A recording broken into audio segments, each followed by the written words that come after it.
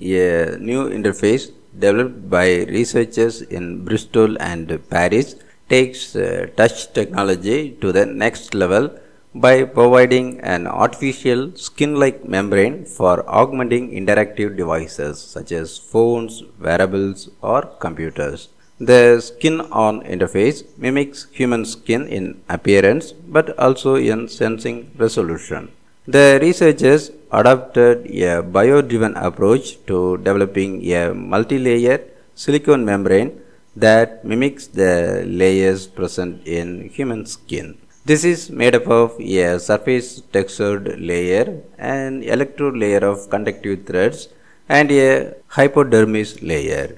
Not only is the interface more natural than a rigid casing, it can also detect a plethora of gestures made by the end users. As a result, the artificial skin allows devices to feel the user's grabs, its pressure and location and can detect interactions such as tickling, caressing, even twisting and pinching.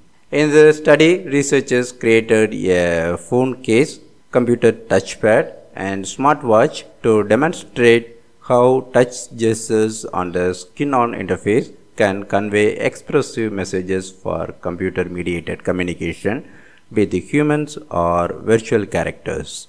One of the main use of smartphones is mediated communication using text, voice, video or a combination. The researchers implemented a messaging application where users can express rich tactile emotions under artificial skin. The intensity of the touch controls the size of the emojis. A strong grip conveys anger, while tickling the skin displays a laughing emoji and tapping creates a surprised emoji.